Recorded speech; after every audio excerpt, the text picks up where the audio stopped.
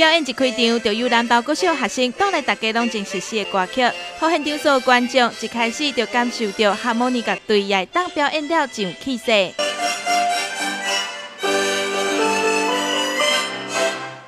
会发觉到口琴还是一个非常优美的一项乐器哈，啊，蛮有啊这样的一个一个节奏感的这样的一个啊优雅的音乐。那经过口琴这样的合奏。也别有一番风味。那口琴呢，可以说是现在在很多学校里面，我们从小就开始培育他们的。那我们希望可以借由这样的一个平台呢，未来可以让我们的孩子跃升到国际的舞台。为了庆祝建国百年，南投县政府文化局特别结合了县内、甲台中、台北十五间学校以及民众，举办了百人哈模拟大会演。真侪学校拢以上好表现前来参加，包括六个新义的偏乡学校，也以精心设计表演得到在场观众的一个掌声。也或者偏乡学校学生会当得到正式就代表演的机会。在学校的表现都还蛮认真、很用心的在学习。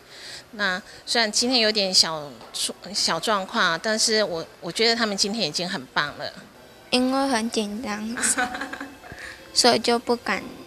下次会不会想说，就是练习更好一点？下次会吹得更顺利、更好。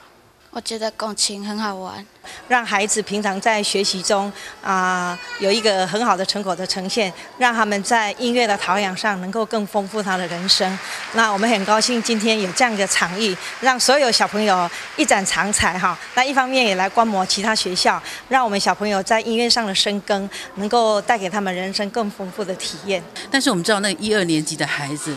要来吹这个乐器是有困难的，但是我们又很希望我们偏乡的孩子能够有机会到像是文化中心这样的舞台，能够跟别的学校一起进行观摩。所以呢，我们就把二十一个学生全部带出来。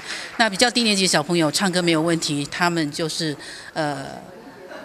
高兴的、纯真的唱出自己的心声就可以了。那我们中高年级的学生呢，就是吹口琴。这次的八景哈模拟大会演，吸引真济民众甲家长同齐前参加。除了和馆内各小学生会当加学一种乐器，学生也为学习过程当中得到了珍贵经验甲乐趣。记者金文山采访报道。